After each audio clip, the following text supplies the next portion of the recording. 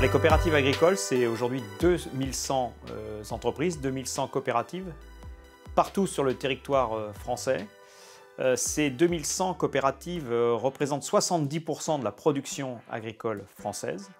elles s'adressent à 300 000 agriculteurs. 3 agriculteurs sur 4 aujourd'hui sont adhérents d'une coopérative. Elles représentent par euh, la collecte et la transformation euh, de la production agricole 40% de l'agroalimentaire, c'est-à-dire 40% de l'alimentation que vous retrouvez dans vos différents lieux de distribution euh, aujourd'hui en France. Et un point important aussi, elle représente une marque sur trois, une marque alimentaire sur trois. Nous, sommes, nous représentons également dans l'ensemble de nos structures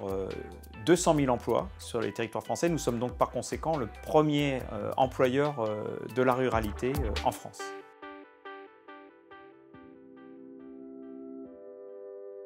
Nous sommes confrontés, j'allais dire, euh, à une double problématique euh, qui se traduit euh, sur, j'allais dire, une échelle de temps qui démarre au début des années 2000 jusqu'à aujourd'hui. Nous sommes d'abord dans une problématique d'un choc de consommation, c'est-à-dire que nous avons une consommation des ménages qui évolue énormément. Elle évolue d'abord pour des questions démographiques, de vieillissement de la population, mais également pour des raisons, euh, j'allais dire, sociologiques, qui sont euh, l'évolution de la structure familiale, qui devient de plus en plus soit unipersonnelle, soit monoparentale. Le deuxième euh, choc de consommation important que nous subissons, c'est celui qui est en lien avec l'inflation que nous avons subie à partir de 2022 et l'impact que ça a eu sur le pouvoir d'achat et là aussi, euh, un changement euh, de comportement et de consommation des consommateurs. Leur consommation s'est massivement déplacée, euh, j'allais dire, de produits sous signe de qualité vers des produits d'entrée de gamme et de cœur de gamme.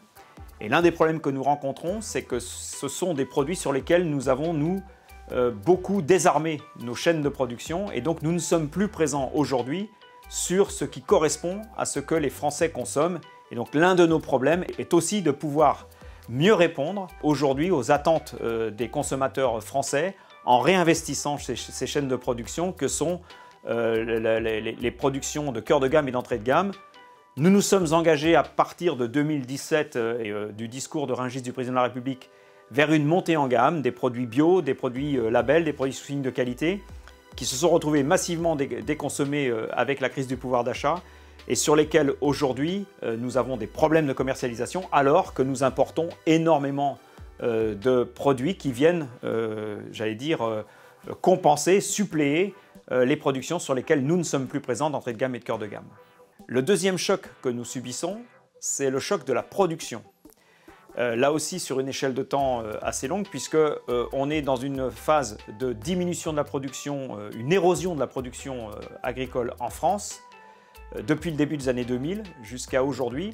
mais avec un phénomène qui s'accélère euh, ces dernières années, notamment lié euh, à l'impact des aléas climatiques, qui ont un impact énorme aujourd'hui sur la production agricole française, qui du coup est dans une phase de diminution importante, et donc nous faisons face à des importations qui viennent compenser cette diminution euh, de la production euh, agricole française. Quelques exemples, euh, nous importons aujourd'hui 50% des fruits et légumes que nous consommons.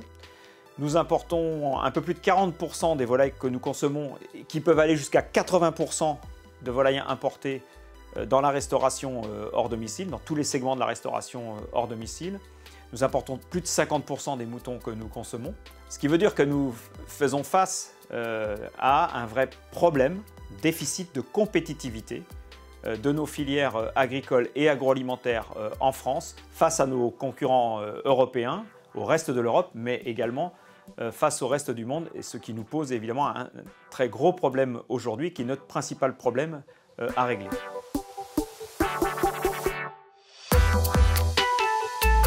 Alors nous avons en 2023 entrepris une démarche assez particulière et inédite qui est celle d'aller à la rencontre des jeunes euh, de toute catégorie, j'allais dire, euh, euh, sociale. nous avons fait six rencontres en France. Nous avons rencontré un peu plus de 800 jeunes avec qui nous avons pu échanger sur quelle était leur perception de l'alimentation et quelle était leur perception et leurs attentes de leur alimentation et les perceptions et leurs attentes de l'agriculture et, du monde agricole euh, d'une manière générale. Nous avons pu constater à, ce contact et lors de ces échanges qu'il y avait un décalage et un fossé qui était en train de se creuser justement entre la perception que les jeunes pouvaient avoir aujourd'hui de leur alimentation, de l'exigence du contenu de leur assiette et de l'agriculture finalement dont on avait besoin pour pouvoir répondre à l'exigence de cette assiette et donc du lien ou du, lien qui ne se faisait plus euh, entre euh, cette perception et cette attente de l'assiette et de l'agriculture. Nous avons donc travaillé à un certain nombre euh, de, j'allais dire, de thématiques qui soient en capacité de réconcilier les jeunes populations et les Français d'une manière générale avec leur assiette et de réconcilier leur assiette et, leur agriculture. Donc nous avons entrepris un, certain nombre de travaux à la coopération agricole pour euh, faire euh, quelque part ce lien. Ce que nous avons constaté pendant ces échanges, c'est aussi la très grande précarité, notamment la précarité étudiante et d'une manière générale, la façon dont la précarité était en passe de devenir en France un vecteur de fracture sociale, alors que dans un grand pays agricole et agroalimentaire comme la France, que l'alimentation puisse devenir un vecteur de fracture sociale était pour nous évidemment quelque chose d'inconcevable et je pense quelque chose qui n'est pas acceptable pour une société euh, et, particulièrement en France. On a donc entrepris euh, plusieurs démarches. La première démarche, c'est la démarche que nous avons euh, faite à l'issue de ces rencontres jeunes et nous avons, avec les banques alimentaires, demandé à certaines coopératives, enfin à toutes les coopératives d'ailleurs, de pouvoir organiser des dons et de pouvoir constituer ce qu'on a appelé des paniers coopératifs à destination des populations euh, euh, étudiantes euh, en situation de précarité. Et nous avons notamment travaillé avec la Banque alimentaire de Nouvelle-Aquitaine et nous avons mis en place cette, opération avec une association d'étudiants qui s'appelle Copain. La deuxième démarche dans laquelle nous sommes entrés, c'est celle de créer une association avec un certain nombre d'autres organisations professionnelles agricoles qui s'appelle Amalté, et c'est une association qui milite et qui travaille à la mise en place d'un chèque alimentaire qui serait, de notre point de vue, de nature à pouvoir euh, conserver les populations qui se trouvent en situation de fragilisation, de vulnérabilité, de pouvoir rester dans les lieux de consommation, j'allais dire de distribution conventionnelle, le plus longtemps possible, pour que cette question liée aux difficultés euh, de précarité euh, et donc de pouvoir se payer son alimentation ne soit pas un sujet de stigmatisation, ou en tout cas le plus tard possible et de manière la plus courte possible, parce que à partir du moment où on est entré dans cette stigmatisation, on a une marginalisation euh, qui s'opère dans la société.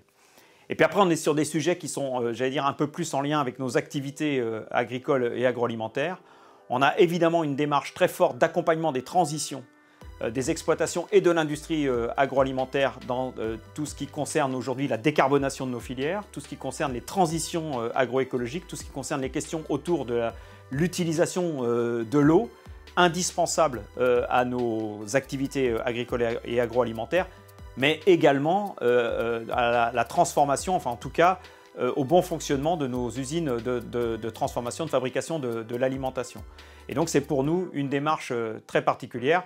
Au-delà de ces questions, nous avons euh, également une activité très forte euh, de soutien euh, aux coopératives qui sont un modèle particulier puisque nous sommes des entreprises qui appartenons aux agriculteurs et dont l'objet principal est de rester une des entreprises à disposition ou au service de l'activité agricole et agroalimentaire d'un territoire pour faire en sorte que cette activité puisse se pérenniser dans le temps, se transmettre de génération en génération et pouvoir, j'allais dire, subvenir à la fois à l'économie euh, d'un territoire, mais également à fournir l'alimentation euh, d'une population.